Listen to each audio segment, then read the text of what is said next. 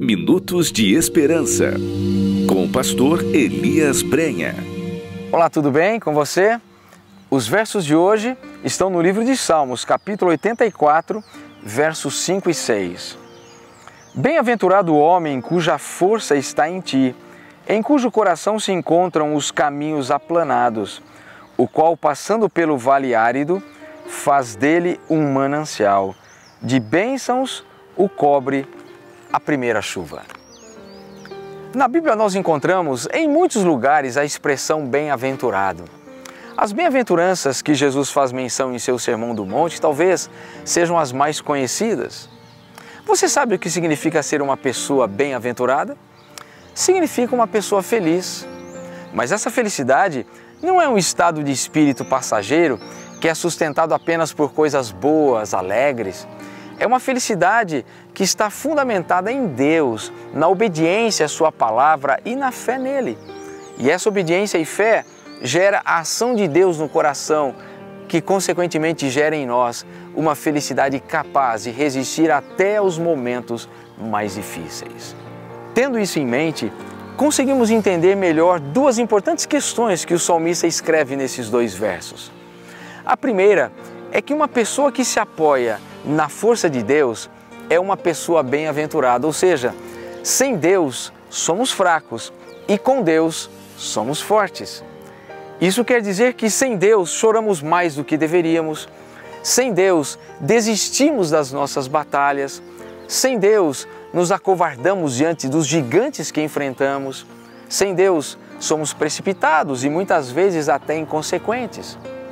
Porém, com a força de Deus ao nosso lado, nós enfrentamos com coragem o sofrimento, nós enfrentamos com coragem a dor, a angústia e as crises que muitas vezes nos assolam e com serenidade procuramos entender os propósitos de Deus em todas as coisas.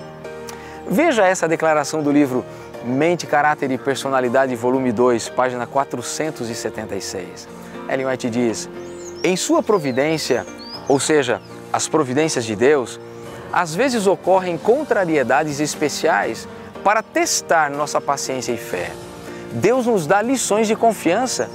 Ele deseja ensinar-nos onde buscar auxílio e forças em tempo de necessidade. Assim diz ela, obtemos conhecimento prático de Sua divina vontade, de que muito carecemos em nossa experiência vital. A fé torna-se forte em sério conflito com a dúvida e o temor. É por esse motivo que o salmista diz que uma pessoa que se apoia na força de Deus é uma pessoa feliz e a sua fé se torna forte em tempo de necessidade. E você sabe o que acontece com aqueles que vivem essa experiência com Deus? Deus transforma os vales áridos pelos quais passamos em mananciais de bênçãos. Essa é a segunda questão importante que o salmista nos escreve. Olha que coisa extraordinária! Vales áridos se transformando em mananciais. É isso que acontece quando uma pessoa se apoia nos fortes braços do Senhor. Eu sei que não é tão fácil como pode parecer, entendemos tudo isso, principalmente se estamos em meio a uma crise. Mas escute uma coisa: se você estiver seguro nos fortes braços do Senhor, Ele vai sustentar você e não vai permitir que as suas forças se esgotem.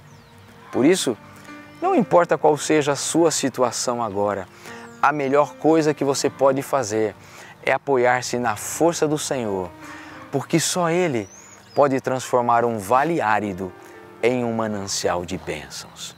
Se você acredita nisso, feche os seus olhos e ore comigo. Pai querido que estás nos céus, mais uma vez te dizemos muito obrigado pelo teu grande amor e pela tua infinita misericórdia. Obrigado pelos teus braços fortes que nos sustentam em nossas crises, em nossas dificuldades.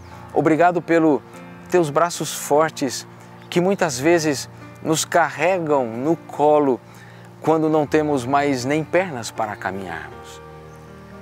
Mas, sobretudo, Pai, obrigado porque o Senhor transforma os nossos vales áridos em mananciais. Nós não sabemos como muitas vezes isto acontece, mas o Senhor é especialista em fazer essas coisas. Às vezes estamos tristes, abatidos, e o Senhor abre os nossos olhos para outras coisas, o Senhor abre a nossa mente para outras oportunidades.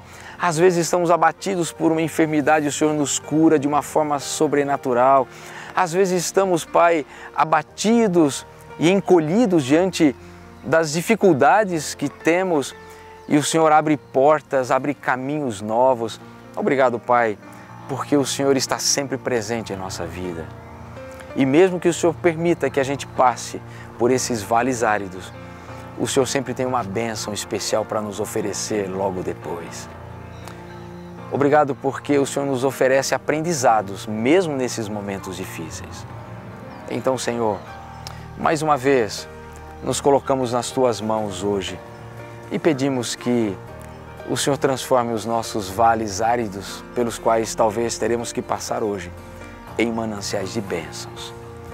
É com esse sentimento que nós nos entregamos e mais uma vez nos colocamos em tuas mãos, em nome de Jesus. Amém. Louvado seja Deus por esse momento, momento gostoso de comunhão, momento especial de reflexão na palavra de Deus. Então, compartilhe esse vídeo com seus amigos, abençoe outras vidas. Nós queremos continuar orando uns pelos outros e eu desafio você também a orar por todos os pedidos que são colocados aqui, você que é parte dessa família. Então, vamos juntos nessa caminhada de fé e com a bênção de Deus teremos mais um dia de grandes vitórias. Um grande abraço e até o nosso próximo Minutos de Esperança, se Deus assim o permitir.